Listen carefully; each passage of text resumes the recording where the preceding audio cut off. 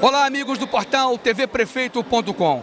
Encerrou agora a eleição e o deputado Paulo Melo foi reconduzido como presidente da Assembleia Legislativa do Rio de Janeiro. Eu vou conversar agora com o deputado e secretário Rafael Pisciani.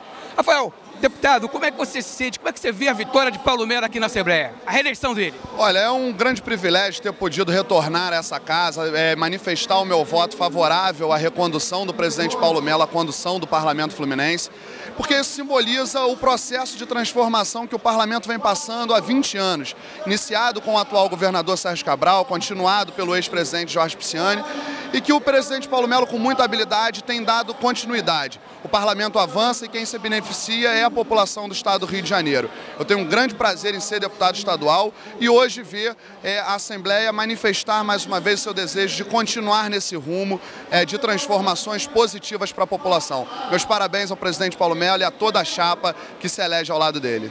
Obrigado, deputado. tvprefeito.com